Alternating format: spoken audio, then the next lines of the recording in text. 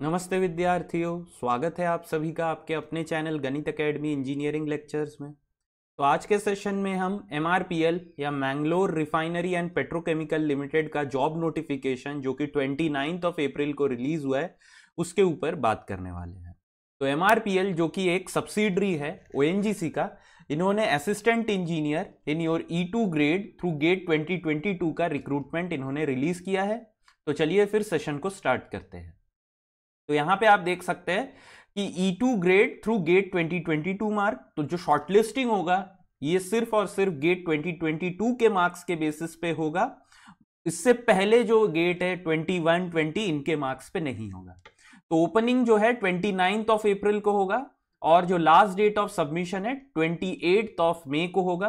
तो how to apply where to apply ठीक है, ये ये सब जो लिंक है, मैं नीचे डिस्क्रिप्शन बॉक्स में दे दूँगा और बाकी डिटेल्स के लिए आप वीडियो में एंड तक बने रहिए।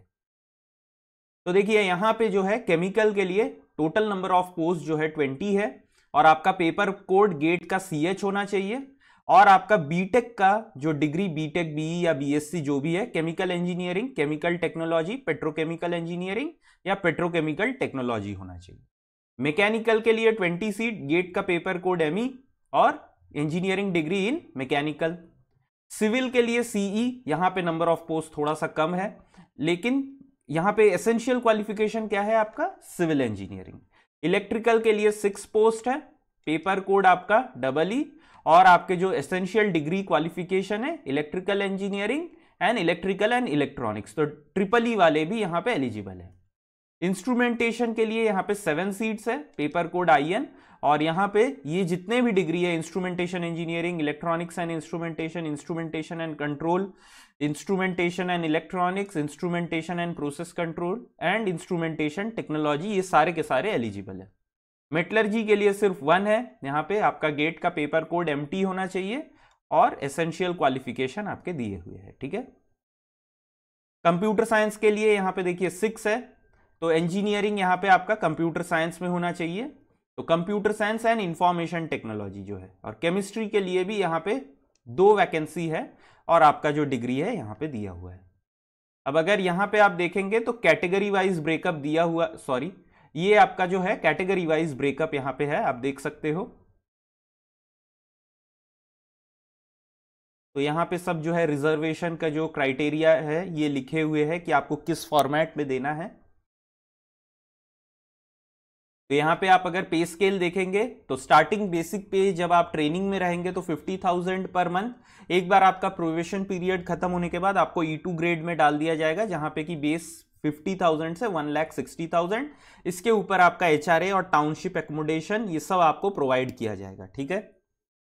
तो सर्विस बॉन्ड यहाँ पे जनरल कैटेगरी के लिए थ्री लाख रुपीज़ और आपका S T S C EWS OBC के लिए फिफ्टी थाउज़ेंड रुपीज़ और यहाँ पे आपका थ्री इयर्स का बॉन्ड पीरियड है after the including the training यहाँ पे रहेगा, ठीक है? मतलब ट्रेनिंग करने के बाद टू इयर्स आपका।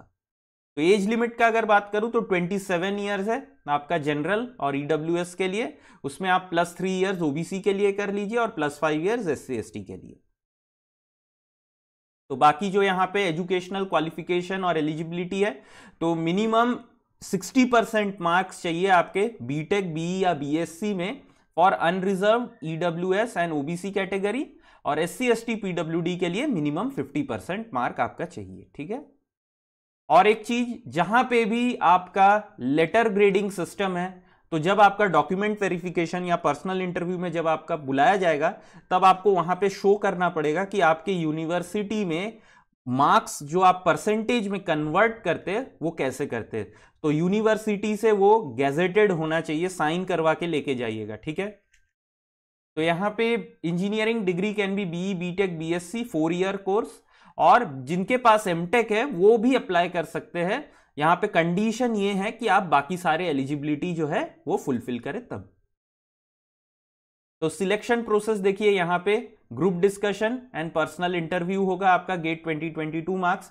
तो सबसे पहले आपको शॉर्ट लिस्टिंग किया जाएगा ऑन योर गेट 2022 मार्क्स के ऊपर। तो यहाँ पे मार्क्स के बेसिस पे किया जाएगा, ठीक है? गेट स्कोर नहीं। और यहाँ पे आप देखिए candidates will be called for GD and PI in one is to ratio means one is to five के रेशियो में बुलाया जाएगा।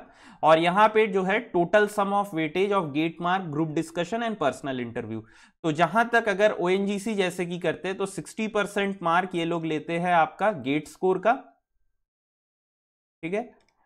25 परसेंट मार्क आपका रहता है, जो एसेंशियल क्वालिफिकेशन है। ठीक है?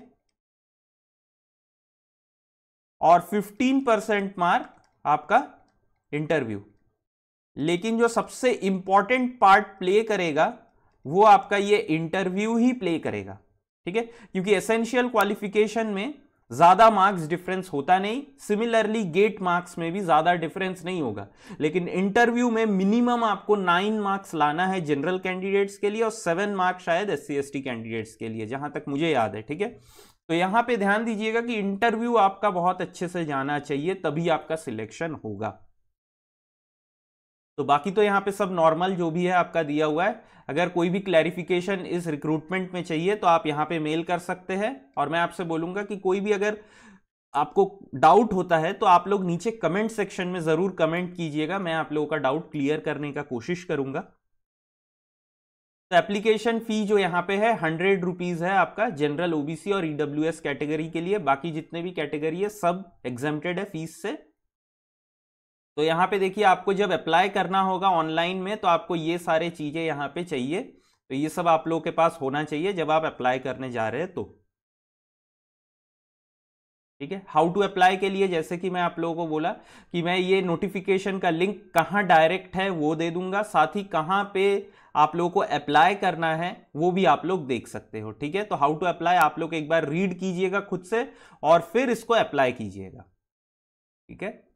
तो यहाँ पे तो बाकी जो भी आपके documents for group discussion and personal interview ये सब दिया हुआ है, आप लोग इसको एक बार अच्छे से रीड कीजिएगा। तो ये तो बात की बात है, जब आपको आएगा इंटरव्यू का कॉल तब।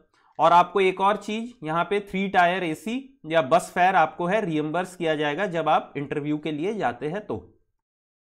ठीक है? ये एक पॉइंट यहाँ पे देख लीजिएगा working knowledge of Hindi is desirable तो हिंदी में बात करना थोड़ा सा आपको आना चाहिए। तो बाकी तो यहाँ पे जो भी इंपॉर्टेंट डेट्स एंड लिंक्स है, ये सब आपको दिया हुआ है तो cut off date for maximum permissible age जिस दिन एप्लीकेशन क्लोज होगा, उसी दिन का है आपका, ठीक है? Date of commencement of online application तो twenty ninth of April end हो रहा है ट्वेंटी एट ऑफ़ मे को हो रहा है ये एंड ठीक है? तो यहाँ पे देखिए सब चीज़ें आपका दिया हुआ है। अगर आप लोगों को कोई डाउट रहे तो आप लोग नीचे कमेंट में बोल सकते हो। अब थोड़ा सा बात करें कि यहाँ पे कट ऑफ़ के ऊपर की मार्क्स क्या रहेगा। तो ये एक जनरलाइज में गेस लूँगा, ठीक है? तो जैसे कि यहाँ पे मैकेनिकल के लिए बोलूँ तो क्योंकि वन इज़ टू फाइव में बुलाया जाएगा तो अगर आपका रैंक, जनरल रैंक 200 तक है, ठीक है? 200 तक है तो आप लोग अप्लाई कीजिए। और ओबीसी के लिए भी यही 300 400 के आसपास अगर आपका रैंक है तो आप अप्लाई कर सकते हो यहाँ पे, ठीक है? 300 और एस सी के लिए यहाँ पे मैं कोई गैस सही से तो ले नहीं पाऊँगा बट फिर भी 500 रैंक से ज़्यादा तो मेरे को नहीं लगता यहाँ पे आएगा। So this is my guess ठीक है? गेस है यहाँ पे, आप लोग खुद से देख सकते हैं। सिविल के लिए भी यहाँ पे 15 ही है।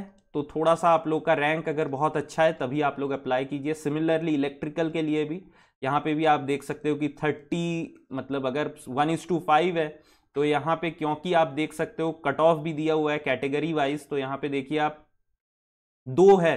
मतलब वन इज़ टू फाइव मतलब टेन रैंक या ट्वेंटी रैंक तक मैक्सिमम बुलाया जाएगा। सिमिलरली इंस्ट्रूमेंटेशन के लिए भी यहाँ पे आप देख सकते हो, क्योंकि थ्री ही सीट्स है अनरिजर्व में तो अंडर ट्वेंटी रैंक तक ही आपको इंटरव्यू कॉल आएगा। ईडब्ल्यू e के लिए भी अगर मैं बोलूँ तो यहाँ पे जो है आपका इसी के अराउंड में रहेगा ईडब्ल्यू e और ओबीसी एसटी एससी के लिए यहाँ शायद 50 रैंक तक अगर किसी को इंटरव्यू कॉल जाए तो जा सकता है, ठीक है?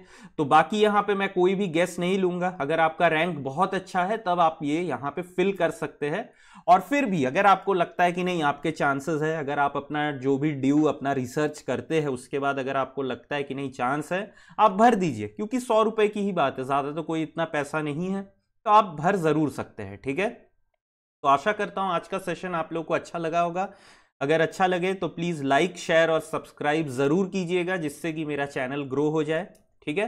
तो चलिए फिर मिलते हैं नेक्स्ट सेशन में। Thank you